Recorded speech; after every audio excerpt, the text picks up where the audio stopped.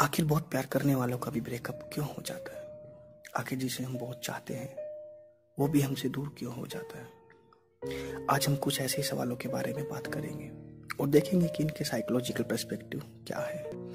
दोस्तों, कोई भी प्यार इन तीन चरणों या दौर से होकर गुजरता है। पहले इन चरणों या स्टेप्स को समझ लेना बहुत ज़रूरी है। पहला चरण फ़र्स्ट स्टेप इस चरण की शुरुआत होती है अट्रैक्शन से। अट्रैक्शन ही दोनों को पास लाता है। इस समय उनमें एक दूसरे को जानने की बहुत ज़्यादा इच्छा होती है। इसलिए दोनों आपस में घंटों घंटों बातें करते हैं। आपस में सब कुछ शेयर करते हैं। इस दौरान आकर्षण इतना ज़्यादा भी हो सकता है कि किसी और काम में मन ही ना लगे।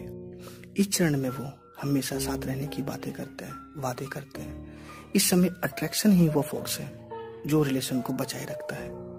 दोस्तों, इस अट्रैक्शन की लाइफ एक से लेकर डेढ़ साल तक भी हो सकती है। इसके बाद शुरू होता है दूसरा चरण। दोस्तों, ये प्यार का दूसरा चरण है। यहाँ तक पहुँचते पहुँचते आकर्षण खत्म होने लगता है। अब घंटों घंटों तक बातें नहीं होती। बातें कम होने लगती है।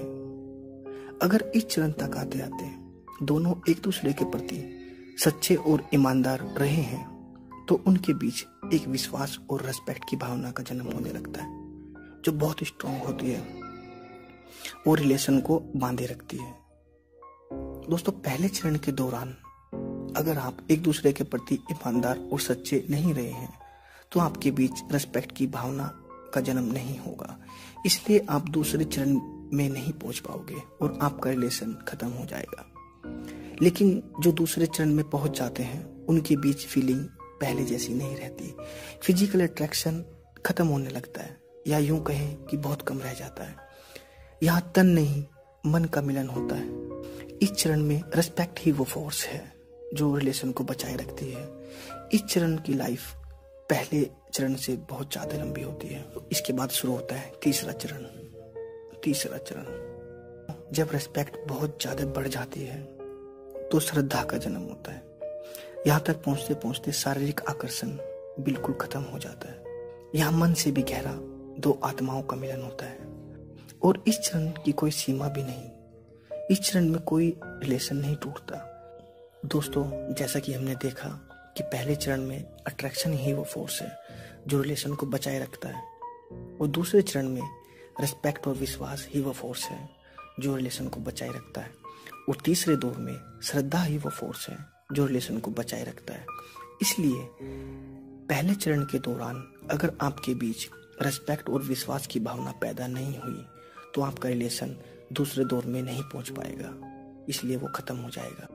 इसी तरह, दूसरे चरण के दौरान अगर आपके बीच रेस्पेक्ट और विश्वास की भावना ज़्यादा लंबे समय तक नहीं चल पाई तो आपका रिलेशन तीसरे दौर में नहीं पहुँच पाएगा, दूसरे दौर में ही खत्म हो जाएगा। लेकिन अगर आपका रिलेशन एक बार तीसरे दौर में प्रवेश कर गया तो आपका रिलेशन कभी नहीं टूटेगा।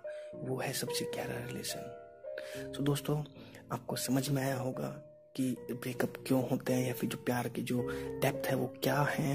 हमने कोशिश की कि आपको समझाया जा सके साइकोलॉजिकल पर्सपेक्टिव से। उम्मीद करता हूँ आपको ये वीडियो पसंद आया होगा। अगर आपको वीडियो पसंद आया तो प्लीज़ एक लाइक तो बिल्कुल बनता है।